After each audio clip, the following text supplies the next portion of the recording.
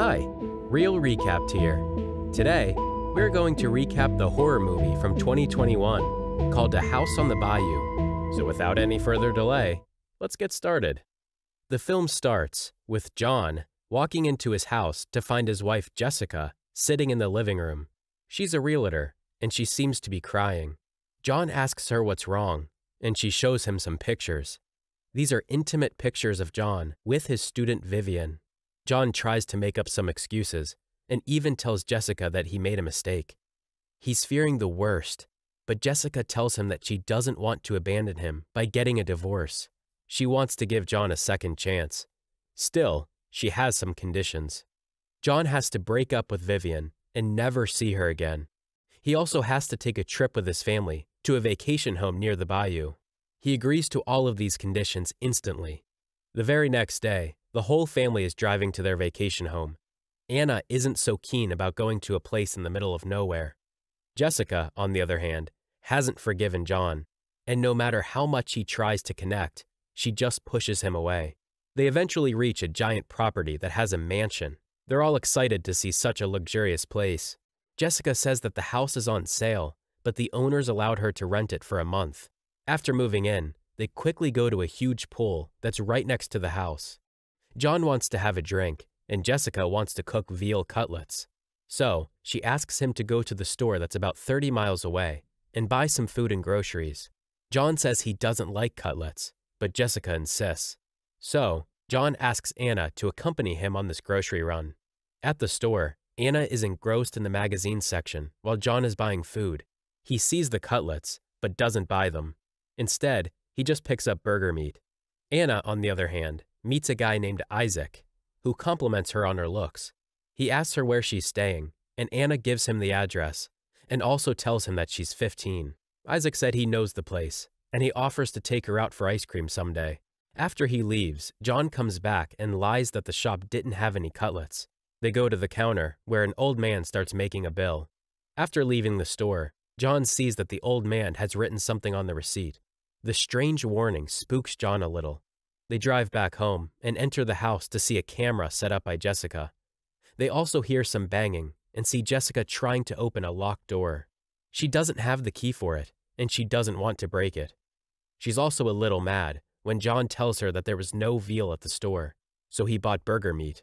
Right then, the doorbell rings, and Jessica opens the door to see Isaac who says that he lives near their house with his grandfather who owns the shop. He invites Jessica's family for dinner and says that they're making veal cutlets because they're available at the shop. Jessica realizes that John lied to her, so she says yes to Isaac's offer.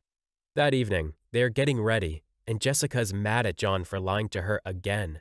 She's crying and telling him how much she loved him and how badly he hurt her. He apologizes for his actions and promises to make his marriage work. Anna, on the other hand, is sitting in the living room when she has a nosebleed. Her parents clean it up, and Anna says she doesn't want to go anywhere for dinner that night because she isn't feeling too good. Jessica has no choice, so she agrees to stay home. Right then, the doorbell rings again. Jessica and John open the door to see Isaac, who says that their oven broke down, so they decided to bring the food to this mansion and cook it here. But he say it is a local tradition to cook food for new neighbors. The couple hesitantly agrees, and John helps Isaac's grandfather during the cooking. He asks about the warning that the old man wrote. The old timer says that John has done something evil, and it has opened a door for the devil, so John should be careful. John, on the other hand, replies that he doesn't believe in the devil. In the living room, Jessica is asking Isaac about his parents, who apparently both died of bone cancer. She is concerned about Isaac's behavior towards Anna. At dinner, Isaac and the old man are being weird. Isaac asks to light some candles, and he then magically finds the right drawer that has candles. Jessica asks him how he found those candles, and Isaac says he just feels these things. He asks for matches, so Jessica and John go out to find some. Jessica tells John that she wants those guys out of the house. They go back and see that Isaac has lit up all the candles with his fingers, Jessica tells them that they have to leave, and this makes Isaac angry. Right then, Anna has another nosebleed, and she passes out. While cleaning the blood from her daughter's face, Jessica firmly tells Isaac to get out of the house, but he says he doesn't want to. This is when they hear their cat crying in pain. They run to check what's happening and see that the cat has somehow gone inside the locked room. Now Isaac has the key for this room, but he stalls for time and plays games with John, who is concerned about the cat. Something is hurting the cat inside the room.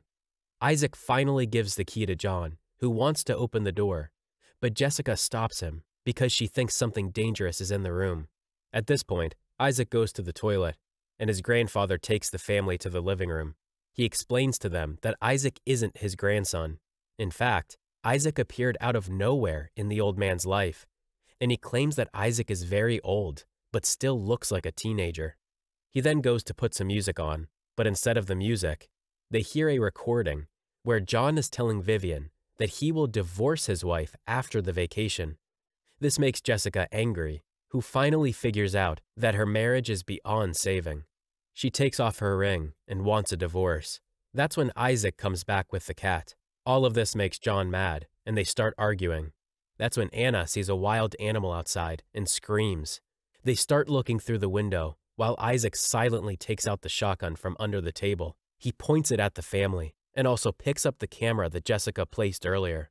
He calls himself the son of Satan and also compares himself to Charles Manson. He wants to have a talk with John. So, he hands his gun to the old man and goes outside with John. When they are a few hundred yards away, John pushes Isaac and asks him why he's ruining his plan. John hired Isaac and the old man to kill his wife Jessica, but for some reason, Isaac is acting all strange, and he looks out of control. John says that the only way Isaac will receive $100,000 is if he follows the plan and kills Jessica. Inside, Jessica tells the old man that she will give him all the money in the world if he let her and Anna go. They're talking when Isaac and John return. Isaac says that he wants to rob the place, and he just mistook them for being the owners of this house. He plans to lock them in the strange room and leave after he's done looting. Jessica is hesitant, but she has to do what Isaac says because they have a gun. They go to the room, but Isaac only locks John inside. John is screaming to open the door when the doorbell rings, and Isaac asks Jessica to see who's at the door. She goes downstairs and picks up a hammer it's Vivian at the door, and she says that John texted her to come there. Jessica explains to Vivian how they're being robbed, and she wants Vivian to go to the police. So, Vivian gives her a pepper spray and goes to her car, but the car doesn't start, and it's also locked. Inside, the old man takes Anna downstairs, while Isaac asks John to open the closet inside the room. When John does so, he's instantly attacked by something. Outside the house, the old man asks Anna to pour gasoline on the car, he is threatening to shoot Jessica and Anna if they don't oblige. So, Jessica grabs the can and pours gasoline on the car, while Vivian is screaming inside. After she's done, the old man throws a lighter on the car, and it goes up in flames. Vivian is screaming, and Anna can't take it anymore, so she starts to run. The old man tries to shoot her, but Jessica hits him in the head. After the old man dies, Jessica gives the shotgun and the pepper spray to Anna, in case Isaac tried to attack her. She then goes inside to look for her husband. She looks around the house and sees that the locked door is now open. Inside, John is lying on the floor with his stomach ripped open. There is also a wild animal in the room. Jessica takes the car keys from John, who is sorry about everything. She then closes the door and hears John getting eaten by the animal. Outside, Anna sees Isaac, who tells her that he wants to take her away. He then quickly grabs the gun from Anna's hand, who shoots a bullet in the air. Jessica hears the gunshot and runs outside to see Anna being dragged into a boat. Isaac tells her about how John hired them to take his wife out. However, John was an evil man, so he had to be taken out. Isaac is babbling these strange things when Anna hits his eyes with pepper spray. Jessica, on the other hand, grabs the gun and shoots Isaac in the chest. Isaac falls down and says that he and the old man built that house and they have been using it to hunt down bad people for centuries. Jessica obviously doesn't believe it, and she takes Anna to the car, and they get out of there. She explains everything to the sheriff, who says that no such house exists. The whole story is unbelievable, but Jessica insists that it is true. So, the sheriff decides to take a drive to the location of the house with Jessica. When they reach there, they find no such house, and Jessica is flabbergasted. She doesn't know what to think, but she finds her ring on the grass. She's tired, and she just wants to go back.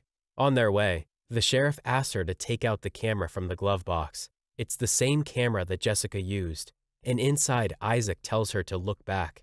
She sees Isaac and the old man in their red truck driving by.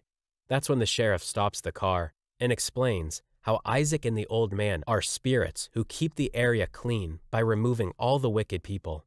She asks Jessica to be thankful that she survived and to use this chance to do good. The film ends with Jessica going back to the station while the red truck is driving down the empty country roads. And that wraps up our recap for the movie A House on the Bayou. Feel free to drop a comment below as to what we should recap next. Make sure to like and subscribe if you enjoyed the video, and don't forget to turn on notifications. Thank you for watching, and see you next time on another Reel Recapped.